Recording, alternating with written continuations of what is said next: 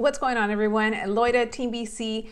Wanted to let you know that this upcoming April 22nd, I will be doing a meet and greet slash mastermind with Charmaine from Females Who Flip out here in person in Miami, Florida. So if you're local, I would love to meet you. This is going to be from 6 to 9 p.m.